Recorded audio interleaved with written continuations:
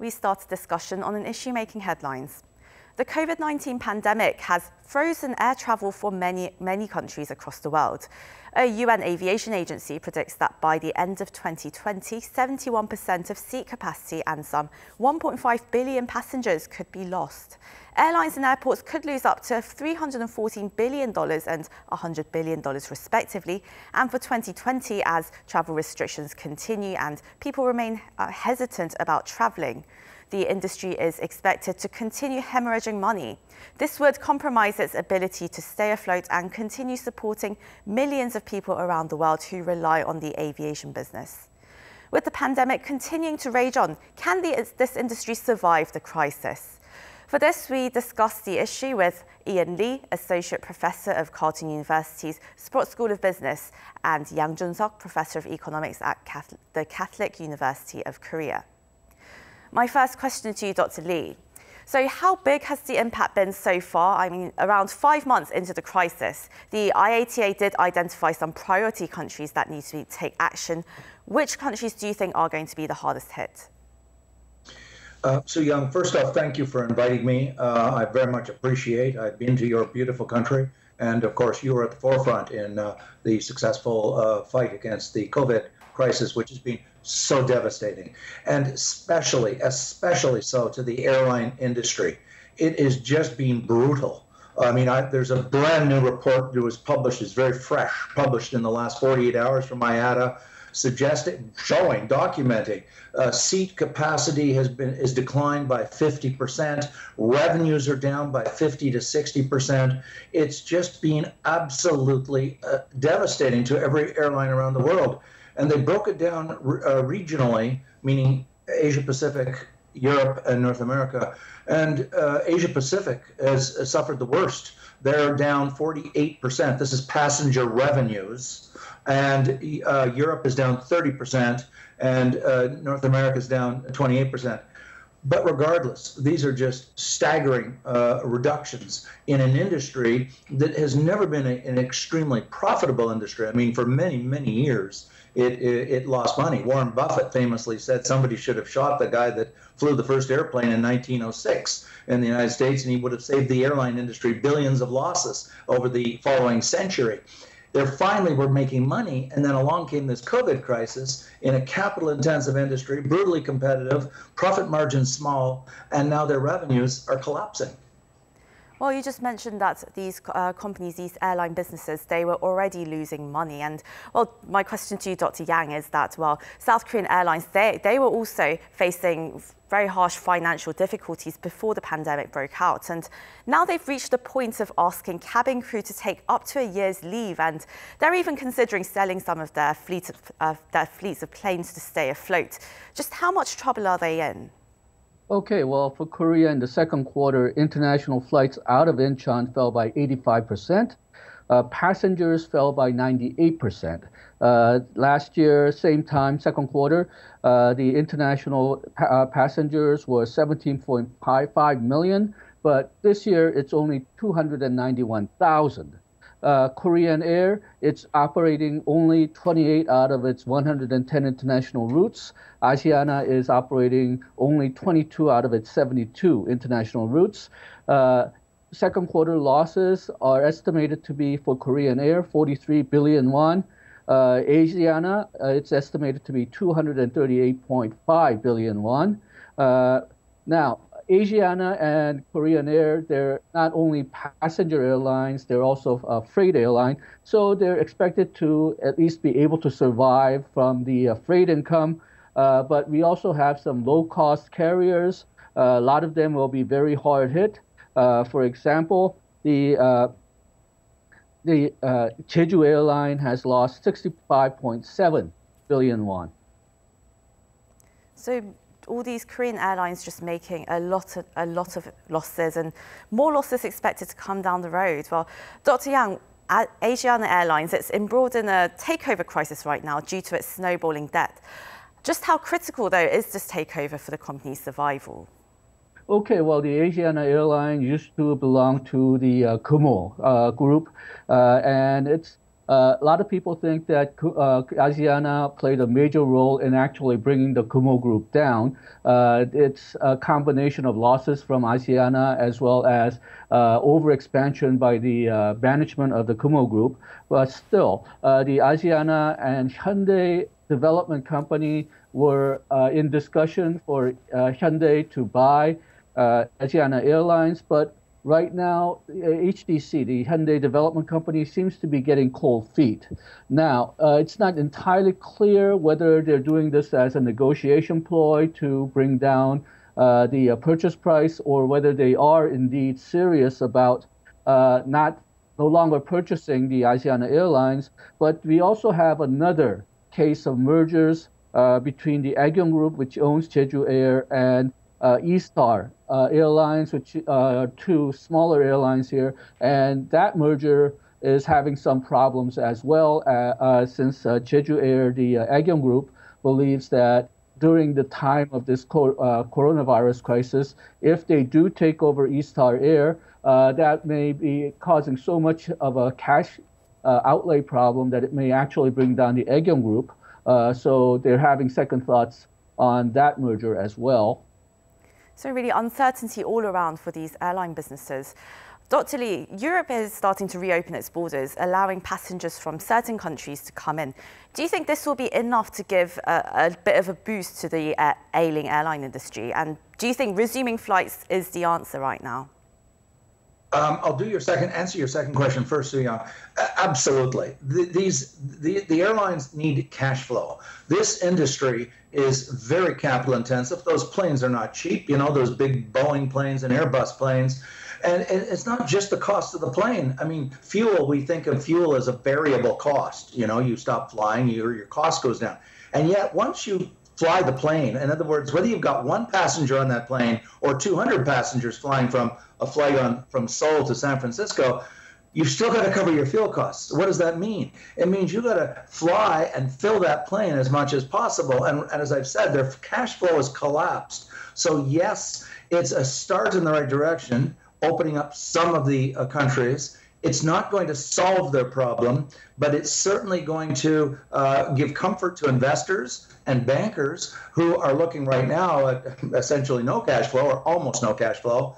So that opening up on a risk-based, country-based basis to allow those countries with great success, such as South Korea, uh, to fly to other countries that have addressed their problems, such as countries in, in Europe, is a very important first step to bringing the economies back and to restoring uh, some health to the airline industry.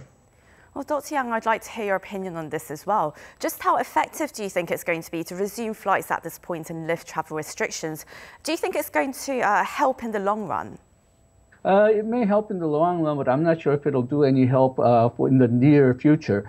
Uh, in general, not just the airline industries, there's usually thought to be three uh, stages of economic recovery from the uh, coronavirus. The first stage is that coronavirus has to be brought under control. Uh, it hasn't happened yet. Uh, second, uh, people must uh, be no longer be afraid of going to work, doing everyday activities, or going abroad in an airplane. and then the third stage is get it, to deal with economic damages from the coronavirus recession. Now, looking at it from that point of view, uh, we, we still don't have coronavirus under control in many countries. But even more important, I think, is that people uh, uh, have to feel safe in flying the airplanes, in visiting other countries. I'm not sure if we're at that stage right now, especially in an airplane where it's an enclosed space. And uh, because of the fact that the uh, Dr. Lee just mentioned that the uh, planes has to be filled, uh, it's not a good place to practice distancing. So uh, until people feel safe, even though we opened up, how many tourists we're going to have, I don't think you're going to have much. Well, Dr. Lee, the travel restrictions, they're not just affecting pilots and flight attendants and passengers, but also airport staff, air cargo demand, and also catering staff as well. I mean, what kind of support do these massive airline companies need, need uh, from the government or maybe other sources to make it through this crisis? I think that's an excellent question, Soo-Young, because of course we are focused on the airlines, understandably. But these airports on the ground, they're essentially mini cities. Uh, and I'm talking, you know, the big airports of the world in, in your country, in Seoul, in, in, in Heathrow, in San Francisco, in Toronto. They employ thousands and thousands of people. Just very quickly, there's three different, and I'll defer to Dr. Yang in terms of the model of airport governance in Asia. But in, in Canada, the airports were turned into municipal nonprofits. But in Europe, the airports were privatized as private for profit companies, while in the States, the, the bastion of capitalism, you would think they would have privatized. The airports are still owned and operated by the government. Now, to your question, uh, the I know that in uh, the in Canada, the subsidies that have been made available to large corporations and nonprofits have been extended to the largest airports in Canada because they employed, as I said, thousands upon thousands of people in all aspects. You know, security, catering, as you said, people in cargo, um, uh, you know, the maintenance of the airports. They're very large uh, little cities uh, within a larger city, and and they do need help because their revenues have completely collapsed.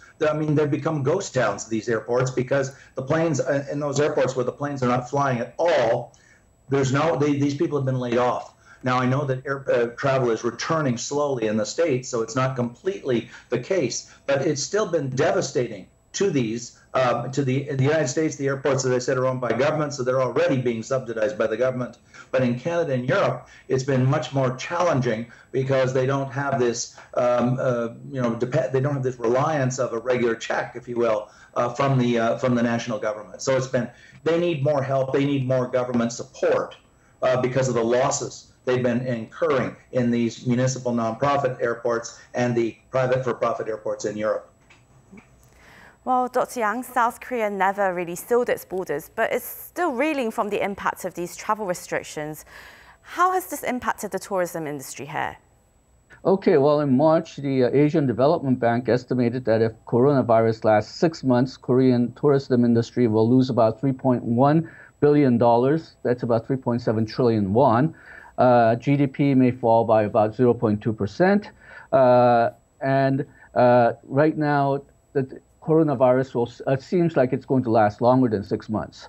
Uh, now, uh, most of the tourism agencies in Korea are operating at a loss since the first quarter, and they're surviving basically on government aid. And the, uh, if you look at the March data, that's when the coronavirus really started to uh, have effect on Korea foreign tourists coming into Korea fell by 94.8%. Korean tourists going abroad fell by 93.9%. Uh, and uh, then, uh, well, uh, in May, we started to move away from uh, social distancing into what Koreans call everyday distancing, so uh, less rigid set of rules. there does seem to be some indication that people are taking advantage of uh, going to tour domestically. They still not they're still very unsure about going abroad, but they seem to be feeling better about moving, uh, going to uh, tourist spots inside Korea. Uh, but even there, it's not clear whether this uh, rise in uh, domestic tourism is enough to it's not, uh, it's not up to the levels that it was before the coronavirus, and it certainly will not replace the foreign uh, tourists who are no longer coming into Korea.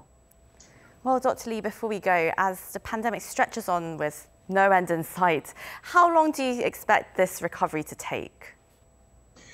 Uh, if you mean the airline recovery, um, I'm going. I agree completely with Dr. Yang in the in the sense that you know if there until there's a, a a, a successful vaccine, we're not going to return to, quote, normality.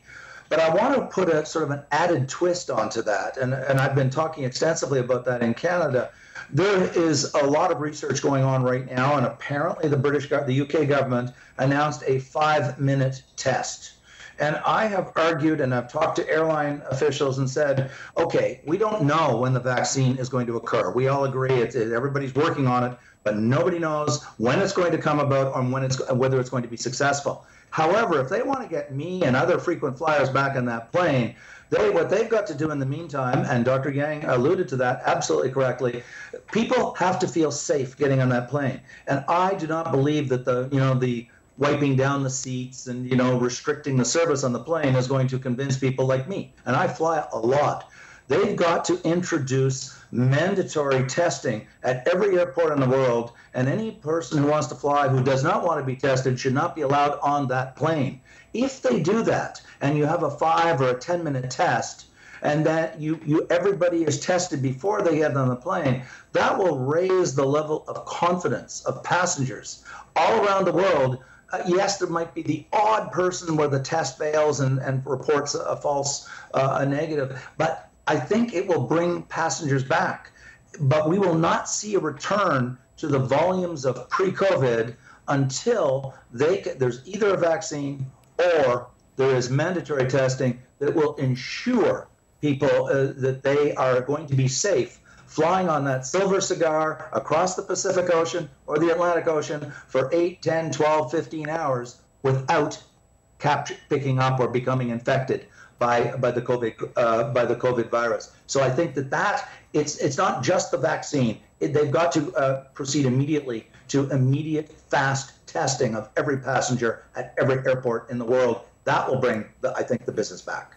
So what you're saying is we can't really just sit and wait around for a vaccine to come. We need to take immediate action to salvage this industry. Well, I'm afraid we're going to have to end our discussion here, but it's been wonderful to hear your insights on this. Ian Lee, Professor at Carleton University, and Dr. Yang Jun-seok, Professor of Economics at the Catholic University of Korea. Thank you so much for joining us. My Thank pleasure. you. Thank you. Thank you. This is also where we wrap up the show. Thank you for watching.